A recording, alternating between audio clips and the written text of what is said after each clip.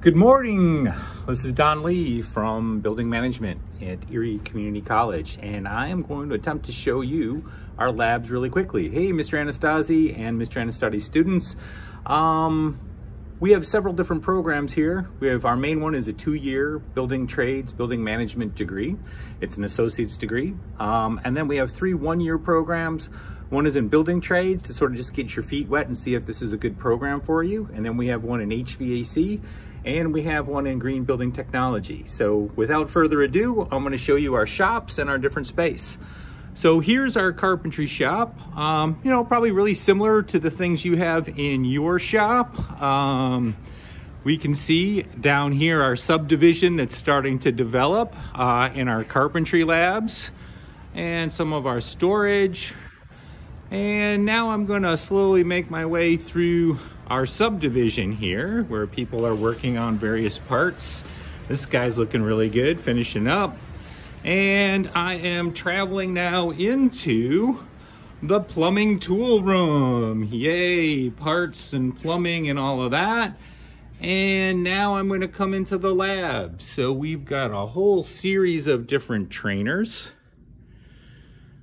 We're coming along. And here are some of the other trainers. Uh, nice thing is you're working with stuff that's all brand new, never used before. Hey, I've done a lot of plumbing and I can't say that I've ever been able to use a whole bunch of new stuff, usually repairs. All right, so we're coming on in and here are all the various trainers. And this is the small classroom area where our plumbing instructor teaches. Most of our rooms are smart rooms. You can see the projector. So we're working off PowerPoint. You can see standard threading tools and so on. So uh, one beauty about taking our plumbing class, if you aren't trained in that at your BOCES right now, is uh, so much of plumbing is really relatively easy to do. I always jokingly say it's like putting together a puzzle where you have to go and buy all the parts to get it together. So the next lab we're coming into, this is a print reading and one of our two computer labs. And again, um, a couple classes I teach in here. I, I teach print reading. I teach one of our two estimating classes in here. And again, it's also a smart classroom. And the nice thing in here is we have a computer lab attached as well. And we're gonna work our way back out of this classroom. We're gonna go back through the carpentry lab. We have some other tools in the carpentry lab that are interesting and fun to play with. We have a variety of metalworking tools because we also teach heating, ventilation, and air conditioning. And here is a brake and a shear, and we've got a seamer, and we've got a variety of other tools for making up um, the various parts for ductwork and so on. So now we're sliding into our electrical lab. We teach electrical one and electrical two. Electrical one has to do with standard house wiring and light commercial wiring. And then electrical systems two has to do with the DC side of things, you know, controllers, thermostats, fire suppression systems, and so on. And as I walk along here, I'm gonna come in and this is our, this is our office. Um, our secretary's not in today. She's working at home. You know the COVID deal. Not everybody's here all the time. But these are our different offices. This is where most of our instructors kind of hang out while we're not teaching our classes or doing our grades and so on. Coming back through the electrical lab and now I'm gonna walk down into what we sometimes call the mud room. This is where we do a lot of masonry work and a lot of very, very dirty um, applications in our programs. And I've got some students working in here, just a few of them. And they're working on some concrete block along with some brick veneer. And again, lots of stuff going on in here. Our masonry tools. We also do some steel stud construction.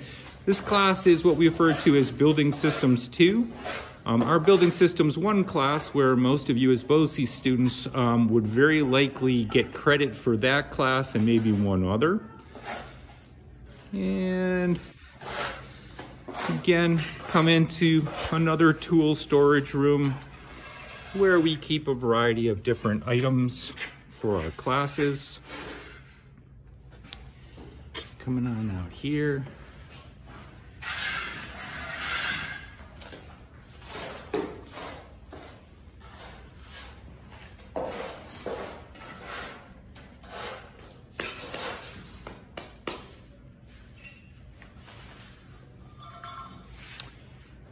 All right, so now we're gonna take a walk out of uh, G50 or AKA the mudroom, and I'm gonna come down the hallway uh, where I'm gonna show you a variety of our other um, our other rooms. Um, we we're in a really old building, so we endlessly have other contractors coming in and repairing things. And as we're coming down the hall, here's that first computer lab and estimating print reading lab I was showing you. And we actually have several other labs. The next one we're coming up on is another uh, smart classroom and computer lab. We have a bunch of different proprietary software, um, especially in HVAC, um, something called Simutech, where you can literally sit down at a computer station and work through simulations of various heating and cooling and heat pump problems. I'm gonna come down to our last couple rooms that we have here. And so, little trainer built a while ago.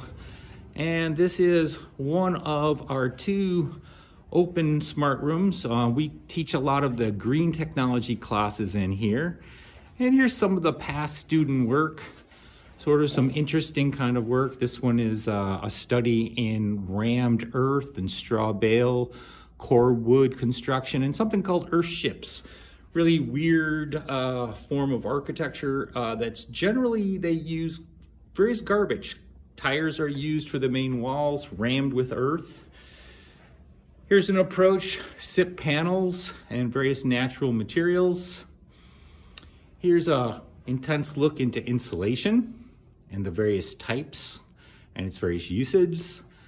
And if we're coming along over here, I've got something else. What's this? Is this one straw bale construction or no, this one's talking about the building envelope and thermal bridging and so on. And I think my last one over here is about very sustainable construction, straw bale, rammed earth, and so on. And then I've got one last room to show you. And this is um, our green building technology room. Green Technology Lab. And so we've got a variety of different trainers. This is a ground-based heat pump. Very common installation in places in Europe. Germany, about 95% of the new homes has a solar array and a heat pump. Hey, speaking of solar arrays, there's one. And here's a windmill trainer. Here's a little student project where they were using um, building cordwood walls. And here is a plumbing trainer um, this is for secondary water system, or sometimes what they refer to as a gray water system. And here's an example of some straw bale construction.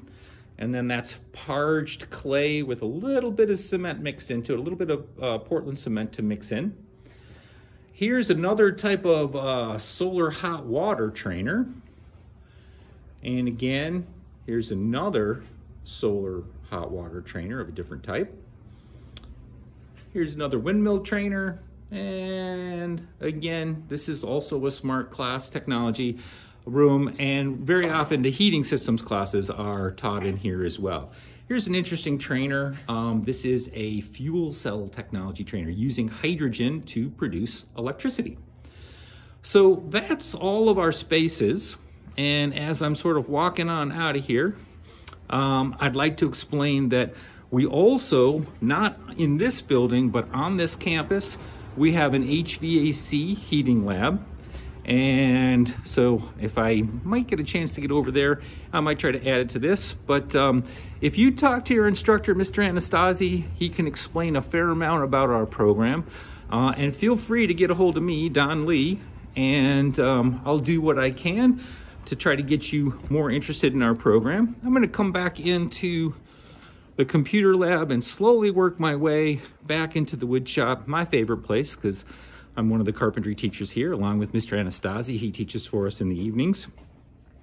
But I kind of want to explain a couple things um, about coming to school at SUNY Erie, or as we all call it, ECC. Um, there's a lot of different programs here if you're interested in construction and the related trades. For example, um, we have a program at South Campus in architectural technology. So if you were interested in designing buildings, that might be a program that you're interested in. You learn AutoCAD, you learn about building codes and things like that.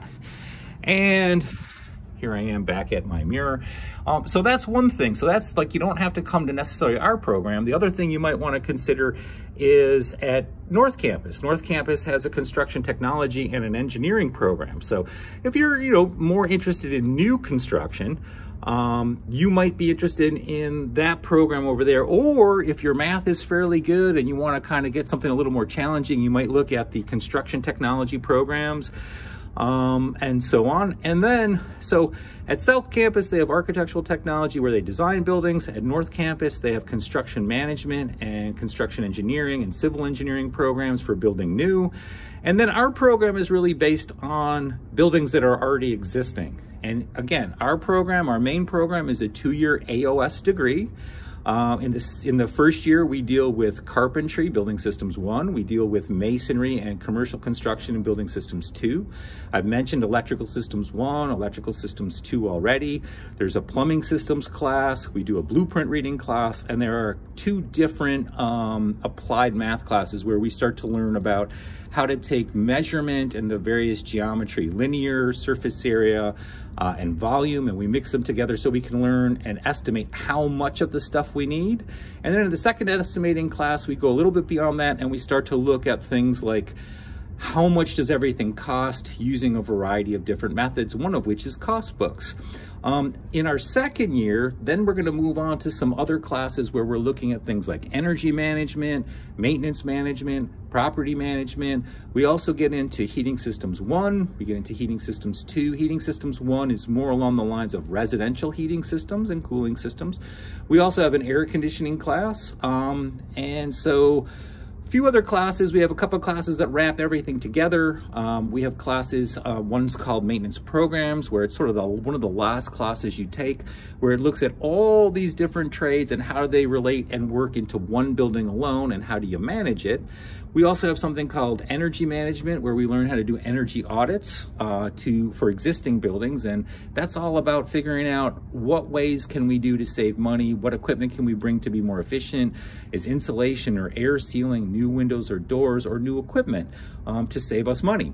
So really that's all I got right now for you and I'm trying to see I'm just under 15 minutes right now so if you have any other questions uh, please have either your counselors or Mr. Anastasi get a hold of me and I'd be very happy to talk to you in person.